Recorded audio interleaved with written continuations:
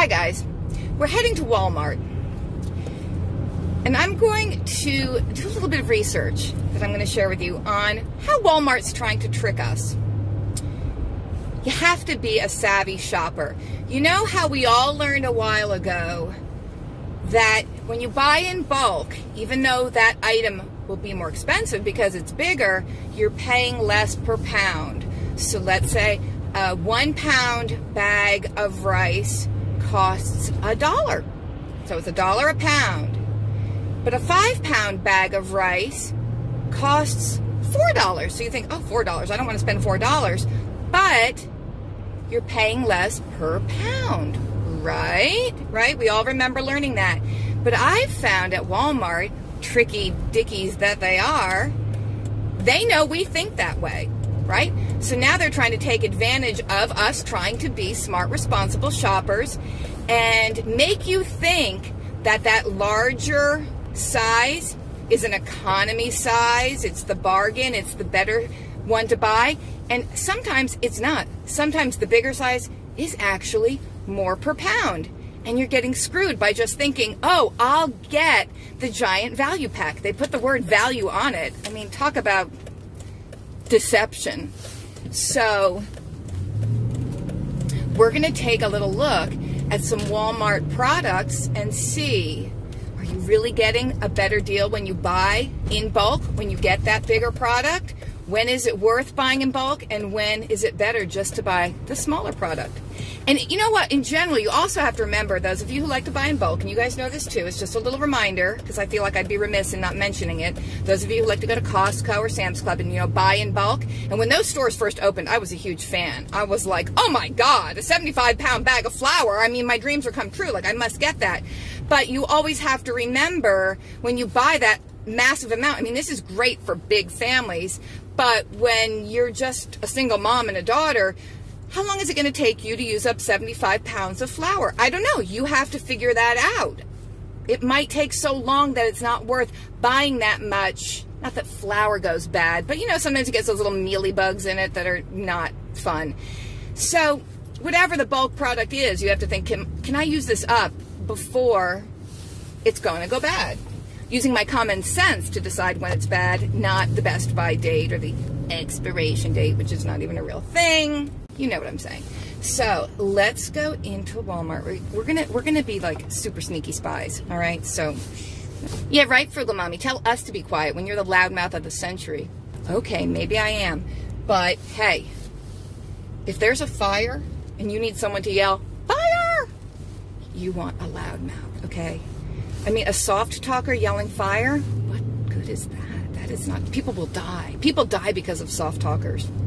My voice which can cut through steel and cement walls, saves lives. Okay, I'm in Walmart. We're on our mission. But I always go check the clearance aisle first, just in case.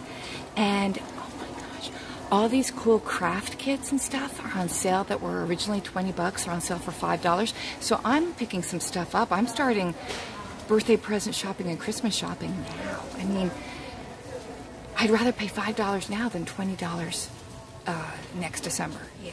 So I'm psyched. So there's our little tip also. Make sure if your Walmart has a clearance aisle, you check that clearance aisle. And this is a great time of year to buy Christmas ornaments and Christmas lights. If, like us, your kittens chewed through all your Christmas light wires and destroyed them. I mean, just look at this Harry Potter Lego thing. This is on sale for $11. Legos are so expensive. And then there are a whole bunch of other sciency things and craft things. My cart is full. I know I've gone crazy. But they're like $20 items that are on sale for five bucks each. Here we go. Check out these Walmart brand cereals. You've got their crunchy honey oats which is their version of Honey Bunches of Oats. We have an 18 ounce package that's $1.33, so that's $1.19 per pound. Then you go to the larger package, 28 ounces. So it's 10 more ounces, it's $2.68, $1.54 a pound. So it's more expensive per pound. The larger size is more expensive per pound than the smaller size. There we have Walmart's version of Honey Nut Cheerios. We've got the 12.25 ounce box for $1.23. That's $1.61 per pound. The bigger box, 21 ounces, a little less than doubled, is 217 a pound. So the bigger one is 56 cents per pound more expensive than the smaller box. So don't be suckered into thinking, oh, the bigger box is a better bargain. It's not.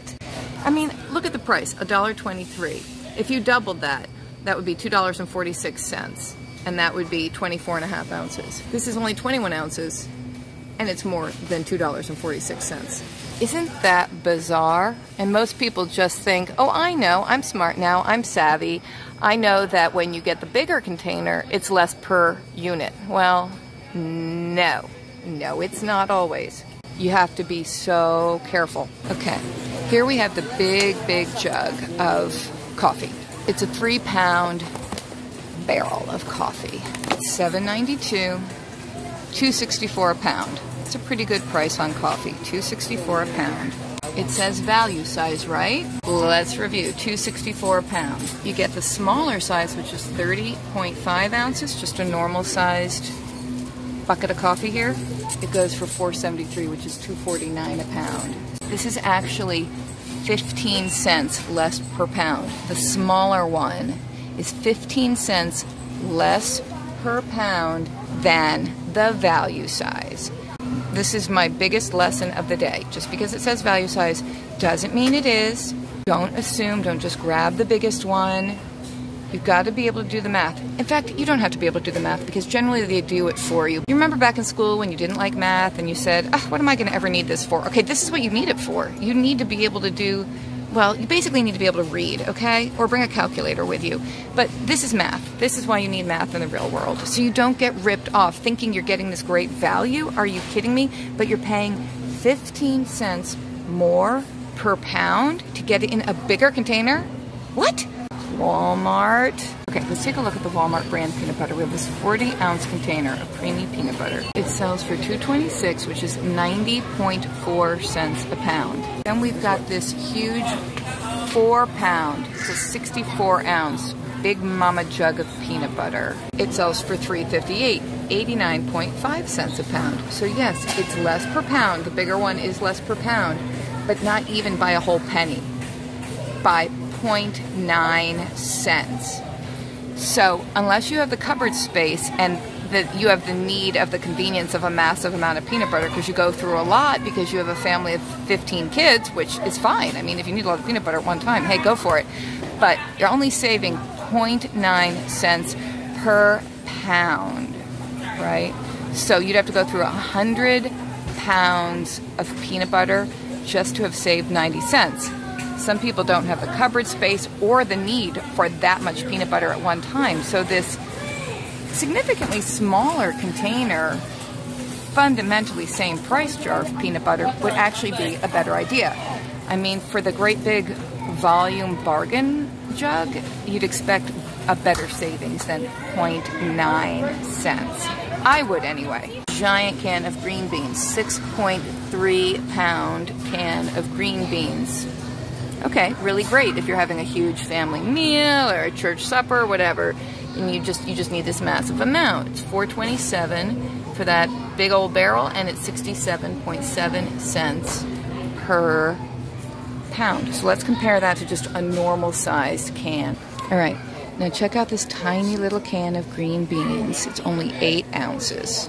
I don't know who other than my grandmother buys such tiny amounts. My grandmother, when she was like 90 years old and she was just cooking for herself, would buy these tiny things, but they're really not a good deal because look, $2 for that can of green beans, $1.14 per pound, that is not a good deal. When you get just your normal size can, your standard size, this is a 14 ounce can of green beans. Look at that, that's going for 50 cents, 55.2 cents per pound.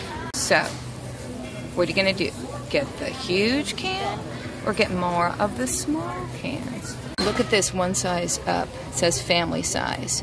It's 28 ounces. So it's almost double this one.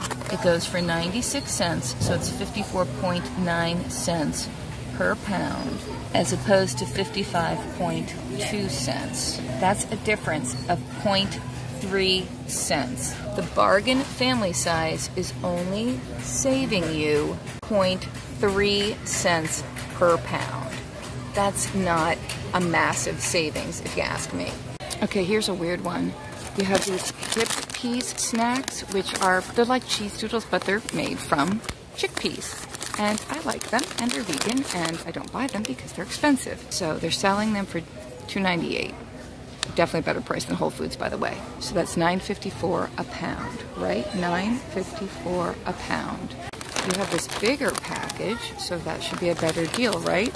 But I think they're in the little individual snack packs, six snack packs. So it's 5.48, 14.62 a pound. 14.62 a pound as opposed to 9.54 a pound. So buy the smaller bag and divide the snack up into baggies, which you wash after each use and save. You don't just throw away your baggies each time you use them, but get your own little baggies, which you're getting for snacks anyway to put in your kids' lunches, and get the smaller bag. Do not opt for the larger bag and the convenience of these little snack pouches because it's significantly more per pound, like 50% more. Okay, that's crazy. We've got these huge jugs basically of animal crackers. Huge. And this is in the baby section, not in the normal cookie area. It's 6.48 for this big jug. It's a two pound, 13 ounce jug, 45 ounces. So it says 231 per pound. Now we're in your standard cookie aisle. That's a 32 ounce bag, so it's just slightly less. The picture makes them look pretty much like they're the same thing. And they are $1.37 per pound. If you're opting for the convenience of the little individual bags instead of just buying the big bag and putting a handful into a snack bag all by yourself, you're going to pay $4.54. This one is just two ounces over the one pound. It's 18 ounces instead of 16 ounces, but it's $6.06 per pound you're spending just for the convenience of the little bags. Okay, check it out in cold cuts. We have a nine ounce package of sliced honey ham for 250. That's 445 a pound. Nine ounce package, 445 a pound. Jump down to the 16 ounce package, and it's 497 a pound. So the bigger package more per pound. 4.97 a pound for the big one, 4.45 a pound for the little one. Are you starting to feel ripped off? Same deal for the turkey breast, 4.45 for the little package, 4.97 a pound for the larger pound package. Rotisserie chicken breast, 9 ounce package, 4.45 a pound. Rotisserie chicken breast, 1 pound package, 4.97 a pound. We have the 15 ounce smaller container of 4C seasoned breadcrumbs, $1.47 per pound. The larger 24 ounce container should be less per pound, less than $1.47 per pound. But no, it's $1.50 per pound. Crazy? Same diff on the plain breadcrumbs. It's not just the seasoned, it's the plain. They're trying to trick you with both. All right, let's take a look at fabric softener. We have big bottles of Downy. They're $9.94, $2.47 a quart. Then you have the smaller bottle of Downy, $6.94, $2.47 a quart. So the per quart price is exactly the same. In this case, I would get the smaller bottle because studies have shown that when you get a huge bottle of something, you use more per use because there's this psychological effect of thinking, oh, I have so much, and you just pour a ton in I know you're all going to say, no, I measure very carefully, but hey, they have done studies on this. People tend to use more when it's a really big container. So in this case, the price per quart's the same. Use the smaller container. But then bear in mind, the Walmart brand is only $1.73 per quart. Okay, here we have cereal. We have the family size Cinnamon Toast Crunch, 19.3 ounces. So it's 364 for the box, 302 per pound. Here's the 12 ounce box of Cinnamon Toast Crunch. It goes for 268 so that's 358 a pound. So the family size package is definitely the better deal as long as having that enormous box doesn't trick you into eating a larger amount of cereal and going through it a lot faster and thus spending more money because your brain's tricked into thinking, oh, I've got so, so much of it, I can have a huge bowl. So for the most part, it definitely seems like it's a better deal per unit at Walmart for the, all the cleaning products. You just have to really be careful about that psychological phenomenon which I didn't make this up. This is real. This is not just my little wacko theory. This is, it's been studied. This is real. When you have a bigger container, you tend to use more per use, and then you're kind of blowing that savings factor. So, for example, and, and maybe it's just me. I mean, you kind of have to play tricks with your own mind sometimes. You have to trick your own brain. When I have a small jug of laundry detergent, there's this perception, subconscious perception, I don't have very much. So I have to be careful with it and ration it. So I'm really careful about measuring the laundry detergent, you know, in the lid, maybe use a little bit less because I need to make it stretch because I only have this little bottle. But when I have a huge bottle, of laundry detergent. I think there's this subconscious perception of abundance. I have so much. It's party time in the laundry room. So I'll measure it in the cup and I'll I'll pour it till it's overflowing and pour the cup in and glug a little bit more into the laundry and hallelujah, my clothes are going to get so clean. Which, by the way, is not how it works either because if you put too much laundry detergent in, it doesn't rinse out and that's not good either. So you have to realize that there's that psychological phenomenon possibly going on inside your brain. I mean, it seems to happen in mine, and you have to trick yourself. So I think what a good thing to do would be if you get the larger container to get the savings per unit, you really have to ration it out. So pour some of it into a smaller container if you have a smaller container and then tell yourself, okay, this smaller container of laundry detergent, this has to last me a whole month. I need to be careful with how much I use and just forget about that huge Mongo value jug you have hidden off to the side. Ration yourself. That's really the same phenomenon that goes with how to stretch your food stamps. People get their food stamp money put on, I think, at midnight, the first of the month, let's say. And I've seen lots of documentaries on YouTube about grocery stores that do this incredible business at midnight when the food stamp cards have been reloaded. Towards the end of the month, nobody's shopping. You know, for the grocery stores that are in the high food stamp recipient communities. But as soon as the food stamp money's loaded, I mean, people go out in the middle of the night to do their shopping. They're so excited to have their money and to be able to have some food in the house. Now, we all know food stamps are not supposed to be your sole source of food. It's supposed to be a supplemental program. That's the S in SNAP. Supplemental Nutrition Assistance Program. But we also know that a lot of people are heavily relying on their food stamps. It's not a supplement, it's the whole deal for some people. And people generally say that their food stamps will last two and a half to three weeks, and then at the end of the month, they are screwed. Well, there's the problem also. When you get your food stamp money loaded on your card and you have this perception of abundance all of a sudden, whereas 24 hours ago, you were out. You were skinned. You got nothing. You got an apple and half a head of iceberg lettuce in the fridge and you have no money left on your food stamp card. Okay, then all of a sudden you have this money. You have, you know, you might have $200 put on it all of a sudden if that's what you qualify for and you have that size family. So you go out at midnight and you just buy all this food because you have money all of a sudden and you've gone without, so you feel that you deserve treats. And I, have seen it. I've I've seen it over and over where people are buying things and I'm not saying people don't have the right to make whatever choices they want to make, but people are buying things that are not giving them the most nutritional bang for their buck.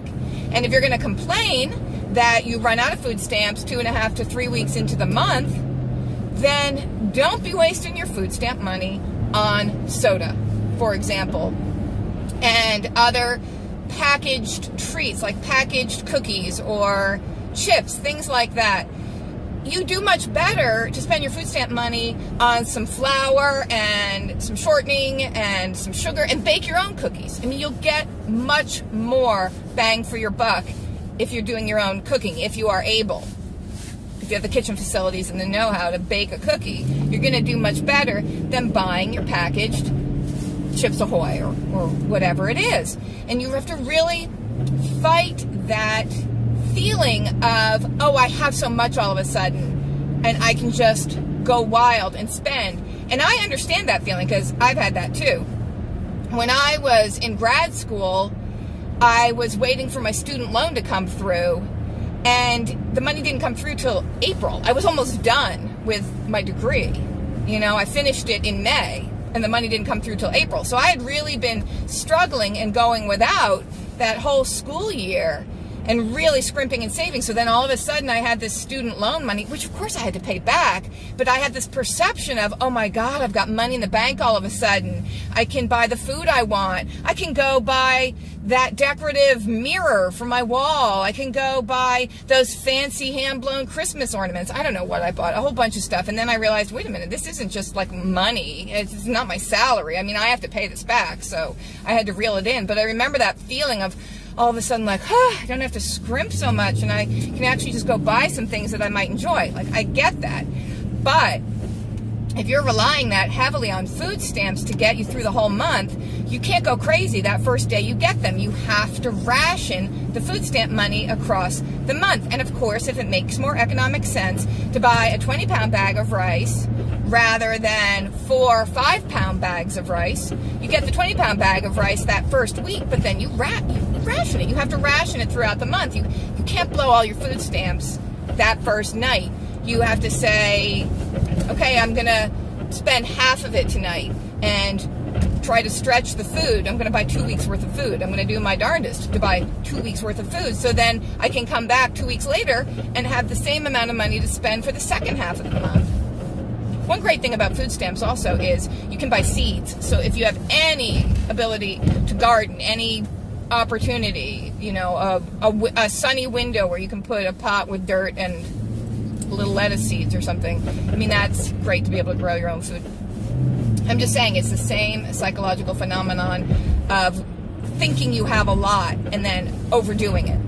Same thing with these large value packs. Same thing when you have 24 rolls of paper towel all of a sudden. You just feel like, I can use paper towel for everything. Whereas when you have one roll in the house, you're thinking, wow, I, I, I need to really be careful with my paper towel. I'm going to save that for the grossest cat vomit messes and not use my rags and dish towels for that. I'll use my rags and dish towels for everything else, but I'm just going to save my paper towel for the really worst messes. But if you have a ton of paper towel in the house, just psychologically you feel like I can take advantage of the convenience of having a lot of paper towel.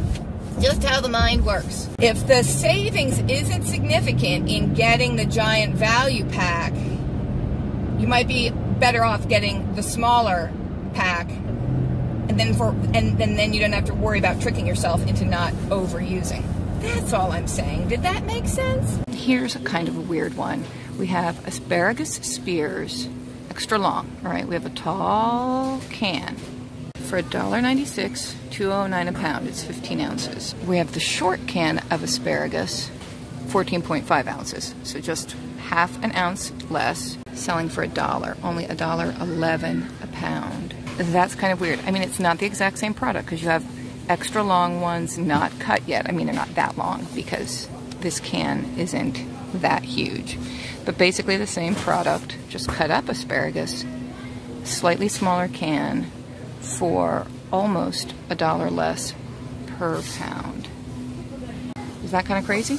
Now, I don't know if you need your asparagus extra long and not cut yet, but personally, I would go for the cut spears and call it a day. Look at this little bottle of classic olive oil. It goes for 252, that's 475 a quart. It's 502 milliliters. Okay, this one's 754 milliliters. It's 429 a quart. So that's less per quart, right? So this bigger one is a better deal than that little one. Then go down to this giant jug. That should be the best deal ever, right? That's almost three liters. That's going for 1784. That's 566 a quart as opposed to 429 a quart. That's considerably more per quart to get this fabulous value giant jug. So really the best deal is your 429 a quart, the medium size, which is 754 milliliters. Pretty crazy if you ask me. Now look at your basic canola oil. That is a 48 fluid ounce container of canola oil for $1.38. That's 92 cents a quart. Now go to this big jug of canola oil. That should be less per unit, right? Well, that's $1.22 per quart. And that's a one gallon jug. $1.22 per quart as opposed to 92 cents a quart. So 30 cents per quart more expensive to buy the giant jug? Seriously? Here's another one. This stuff is really blowing my mind. You have the Walmart brand of baking soda. There's your standard little 16 ounce box for 46 cents. That's a good price, 46 cents a pound. Oh, but you want a better deal. You'll go ahead and get the big box because it'll be less per pound. 224 for the 4 pound box, but it's 56 cents per pound. So you're paying 10 cents more per pound to get the big box of baking soda than it would cost you to get the little box. All right, now look at our chocolate chips. Here is your standard regular sized bag, 12 ounce bag of Walmart brand chocolate chips selling for $1.33. That's a good price, $1.78 per pound. Oh, but wait, we love chocolate chips. We're gonna bake a lot. Let's just go ahead and get the bigger bag. Let's get the 24 ounce bag, because that's gonna be a better deal, right? Oh no, it's over twice the price. It's twice the number of chips, but over twice the price at 388, 259 a pound. If you got two of these bags at 12 ounces each, that would be 24 ounces, and that would cost you $2.66. Or you can just get the 24 ounce bag and pay 266. Wait, no, you're not going to pay 266. You're going to pay 388, a dollar 22 more. Are you kidding me? We have a 20 ounce can of Dinty Moore beef stew at a dollar 67 per pound. 208 for 20 ounces. Jump down to the 38 ounce can and it's a dollar 76 per pound. So 418, a dollar 76 per pound for the bigger one, a dollar 67 per pound for the smaller one. Oh, Walmart, you are so tricky. I'm not saying it's every product at Walmart that has this weird reversal where the larger product is actually more expensive per unit than the smaller product, but it's happening enough. There are enough examples of it that you really need to be careful when you're shopping. Don't be suckered into thinking that the bigger size is always the bargain because it simply is not. They're trying to trick you. Don't let Walmart get one over on you. Don't they own us enough as it is? All right, guys, I hope you like this video. I hope it's helpful. I hope it gets everybody thinking. Thanks for watching. See you next time.